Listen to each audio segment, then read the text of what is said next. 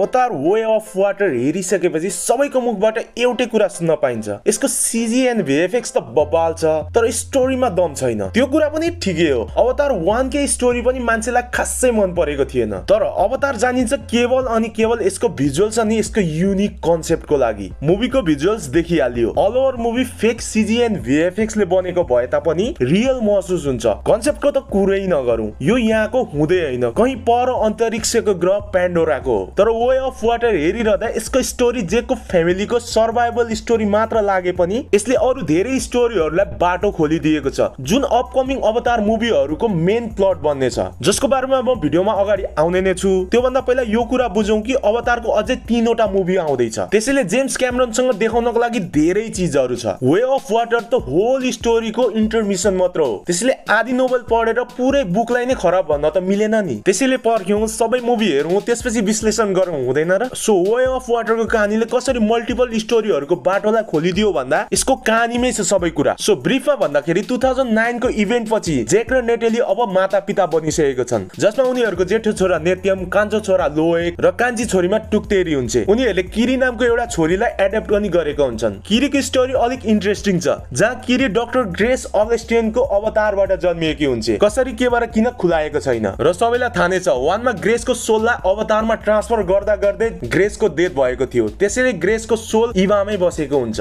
र मुभीमा इभालाई नाभीहरूको अल मदर उनीहरूको गार्डियन्स देवीको रूपमा देखाइएको छ। त्यसैले किरी ग्रेसको अवतारबाट जन्मिएको हुनाले उसमा पेन्डोराका जीव जन्तु बोट बिरुवाहरूलाई कन्ट्रोल गर्न सक्ने पावर हुन्छ। Upcoming Avatar three sets of बेयरमा किरीको त्यही पावरहरू अझ धेरै एक्सप्लोर भएको देख्न पाइन्छ। कसलाई के त किरीको पावर पछाडि सायद किरी मदर इभाको अवतार पनि हुन सक्छ पेन्डोरालाई बचाउन नाभी केटीको रूपमा अवतरित भएको पनि हुन सक्छ जसरी भगवान विष्णु राम कृष्णको रूपमा धरतीमा अवतरित हुनुभएको थियो।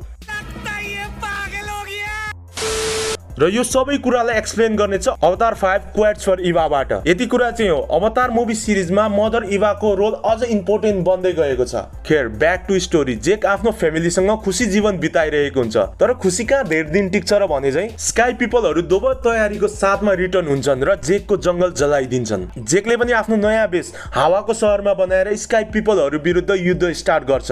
त्यतिकैमा थाहा हुन्छ मानिसहरूले पहिले नै कर्नर किरिज र उसको साथीहरूको मेमोरी र पर्सनालिटी अर्थ अर्थमा पठाएर त्यसलाई अवतारमा इन्स्टल गरिसकेका हुन्छन्। साथै यो कुरा पनि रिभिल हुन्छ। क्युरिजको सानो बेबी पनि हुन्छ। सबैलाई अर्थमा रिटर्न पठाउने बेला बेबी स्पेस सटलमा पठाउन नमिल्ने भएकोले ऊ त्यही छुट्छ। त्यही पेन्डोरामा जेकको छोराछोरीसँग हुर्किँदै गरेको पनि हुन्छ। कर्नल क्युरिज नयाँ बडी पाउन साथ जेकको हन्टिङमा निस्कन्छ। त्यही क्रममा वानको अन्तिम ब्याटल भएको ठाउँमा क्युरिजले जेकको छोराछोरीलाई क्याप्चर गर्छ। तर जेक र नेटेरी आएर उनीहरूलाई त्यहाँबाट छुडाउँछन्। तर स्पाइडरलाई भने छुडाउन सक्दैनन्। युद्ध छोराछोरीसम्म आइपुग्नाले जेकले आफ्नो बाबुको कर्तव्य पुरा गर्दै युद्ध छोडेर फ्यामिलीलाई बचाउने निर्णय गरेर आफ्नो क्ल्यान त्यहीको एउटा मेम्बरलाई जिम्मा लगाएर पानीमा बस्ने मेकाइना क्ल्यानसँग शरण लिन पुग्छ। मेकाइना क्ल्यानको लिडर तोनावरी र रोनालले पनि ज्याकको फ्यामिलीलाई शरण दिने र त्यहाँको तौर तरिका सिकाउने निर्णय गर्छन्। त्यहाँ उनीहरूले पानीमा धेरै बेरसम्म बस्न र त्यहाँको रहन सहन सिक्न थाल्छन्। तोनावारीको छोरी सिरियाले उनीहरूलाई पानीमा रहने सबै ट्रेनिङहरू दिन्छे तर तोनावारीको छोरा अनम फर्स्ट फर्स्टमा उनीहरूप्रति अलिक रुड हुन्छ।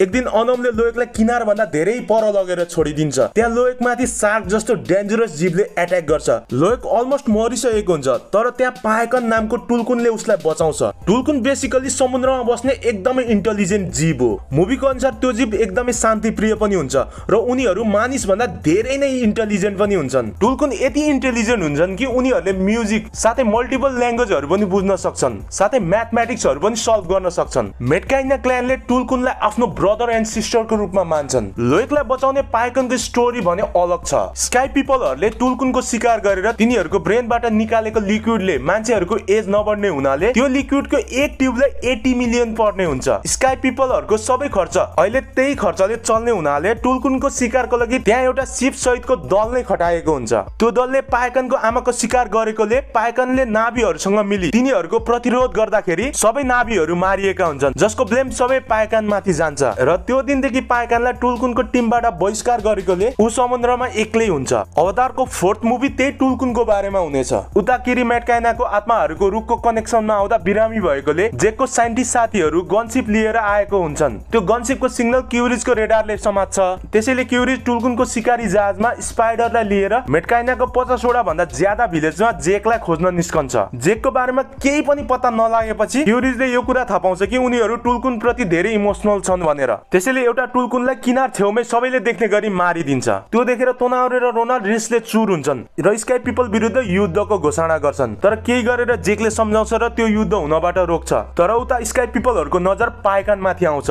त्यो देखेर जेक र तोनावारीको छोराछोरीले पाइकानलाई बचाउन थाल्छन्। त्यतिकैमा कर्नल क्युरिजको आँखा जेकको बच्चामा जान्छ र त्यहाँ जेक र मेटकाइना मिली स्काई पिपलहरूसँग युद्ध गर्छन्। युद्धमा पाइकानले पनि मद्दत गर्छ। तर स्पाइडरलाई बचाउने हुँदा जेकको जेठो छोरा नेत्यमको डेथ हुन्छ। युद्धको कारण हन्टरसिप पानीमा डुब्न थाल्छ। तर त्यहाँ जेक कर्नल क्युरिज नेटेरी र टुक पनि हुन्छ। अन्तिममा लोहकले जेकलाई बचाउँछ भने किरिलले नेटेरी र टुकलाई बचाउँछ। जेक र क्युरिजको फाइटको क्रममा क्युरिज अनकन्सियस भएर सिपसँगै डुबिरहेको स्पाइडरले देख्छ र उसले आफ्नो फादरलाई बचाउँछ। सायद नेटेरीदेखि उसलाई बचाएकोले होला। र अन्तिममा नेत्यमको फ्युनलसँगै मुभी इन्ड हुन्छ। यो मुभीको स्टोरी सिम्पल छ तर अपकमिङ अवतार मुभीहरूको मल्टिपल स्टोरी लाइनहरू यही मुभीबाट स्टार्ट हुन्छ। त्यसैले यो त केवल एउटा सुरुवात मात्र हो। अर्को इम्पोर्टेन्ट कुरा अर्थ अब बस्नको लागि सुटेबल छैन। त्यसैले जेनरल एडमोर पेन्डोरालाई अर्को अर्थ बनाउन आएकी हुन्छ। र कर्नल क्युरिज पनि सर्भाइभ गर्न सफल भएको छ। अब दुई मिली फेरि अर्को एट्याक गर्ने तयारीमा छन् होला। साथै अवतार वानदेखि टू दस वर्ष जति टाइम जबमा भएको थियो। थ्रीमा पनि थोरै हुन्छ होला। सायद यो मुभी सिरिजमा पनि भाइकिङको जस्तै इम्पोर्टेन्ट क्यारेक्टर जेक र नेटेलीबाट सिफ्ट भएर उनीहरूको छोराछोरीमा ट्रान्सफर हुन्छ होला। यो मेरो विशुद्ध अनुमान हो। अवतार मुभी प्रति तपाईँहरूको ओपिनियन के छ? आफ्नो विचार कमेन्टमा लेख्नु होला म अवश्य हेर्नेछु। यति भन्दै आजलाई भिडियो यहीँ प्याकअप गर्छु। भिडियो मन परे लाइक एन्ड सेयर त गर्नु नै होला यस्तै टाइपको भिडियो हेर्न चाहनुहुन्छ भने यो च्यानल सब्सक्राइब गरी नेपाली नट फ्यामिलीको मेम्बर बन्नुहोस्। मनोरञ्जनको साथमा हेर्दै हुन्थ्यो नडी एक्सप्लेन